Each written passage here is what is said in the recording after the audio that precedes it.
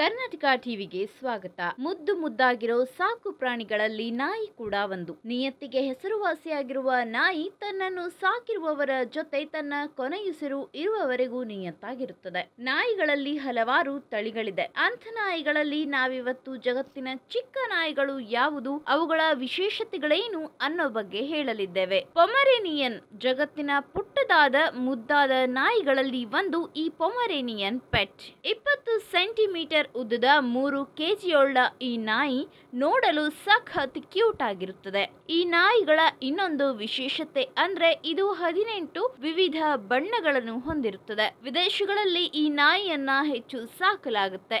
ಭಾರತದಲ್ಲಿ ಈ ನಾಯಿಗೆ ಹೆಚ್ಚು ಬೆಲೆ ಇದೆ. ಇಲ್ಲಿ ಕೆಲವರಷ್ಟೇ ಪೊಮರೇನಿಯನ್ ಪೆಟ್ ಸಾಕುತ್ತಾರೆ. ಫ್ರೆಂಚ್ ಬುಲ್ಡಾಗ್ ಹನ್ನೆರಡು ಇಂಚು ಉದ್ದ ಮತ್ತು ಇಪ್ಪತ್ತೆಂಟು ಪೌಂಡ್ ತೂಕವಿರುವ ಈ ನಾಯಿ ನೋಡಲು ಅಷ್ಟೇನು ಕ್ಯೂಟ್ ಇರಲ್ಲ. ಆದ್ರೆ ಇದರ ಮುಗ್ಧತೆ ನೋಡಿದ್ರೆ ಖಂಡಿತವಾಗಿಯೂ ಇದನ್ನ ಅಪ್ಪಿ ಮುದ್ದಾಡಬೇಕು ಅನಿಸುತ್ತೆ ಟೆಸ್ಟನ್ ಡಾಗ್ ಇದು ಪ್ರಪಂಚದ ಕುಬ್ಜ ನಾಯಿ ಫ್ರೆಂಡ್ಲಿ ನೇಚರ್ ಹೊಂದಿರುವ ಈ ನಾಯಿ ಪಾಲಕರೊಂದಿಗೆ ಚಂದವಾಗಿ ಆಡುತ್ತದೆ. ಹೀಗಾಗಿ ಹಲವರು ಈ ನಾಯಿಯನ್ನ ಸಾಕಲು ಇಷ್ಟಪಡ್ತಾರೆ. ಇದು ಮೂವತ್ತೆರಡು ಪೌಂಡ್ ತೂಕ ಹೊಂದಿದ್ದು, ಹನ್ನೆರಡು ಪೌಂಡ್ ತೂಕದ ಟೆಸ್ಟನ್ ಡಾಗ್ ಕೂಡ ಇರುತ್ತದೆ. ಬ್ರುಸೆಲ್ಸ್ ಗ್ರಿಫನ್ ಗಡ್ಡ ಹೊಂದಿರುವ ರೀತಿ ಕಾಣುವ ಈ ನಾಯಿ ನೋಡಕ್ಕೂ ಸಖತ್ ಕ್ಯೂಟ್ ಆಗಿರುತ್ತೆ. ಇದರ ಕಣ್ಣು ಕೊಂಚ ಮನುಷ್ಯರ ಕಣ್ಣಿನಂತೆ ಕಾಣುತ್ತೆ. ಇದನ್ನ ಸಾಕಿದವರು ಹೇಳುವ ಪ್ರಕಾರ ಇದು ತನ್ನನ್ನು ಸಾಕಿದವರೊಟ್ಟಿಗೆ ಫ್ರೆಂಡ್ಲಿ ಆಗಿ ಇರೋದಲ್ಲದೆ ಅವರನ್ನ ಖುಷಿ ಖುಷಿಯಾಗಿರೋ ತರ ನೋಡ್ಕೊಳ್ಳುತ್ತಂತೆ. ಈ ಮಾಹಿತಿ ನಿಮಗೆ ಇಷ್ಟವಾಗಿದ್ದಲ್ಲಿ ಈ ಬಗ್ಗೆ ಕಮೆಂಟ್ ಮಾಡಿ ವಿಡಿಯೋನ ಲೈಕ್ ಮಾಡಿ ಶೇರ್ ಮಾಡಿ. ಒನ್ಸ್ ಅಗೇನ್ ನಮ್ಮ ಚಾನೆಲ್ನ ಸಬ್ಸ್ಕ್ರೈಬ್ ಮಾಡದಿದ್ದಲ್ಲಿ ಬೇಗ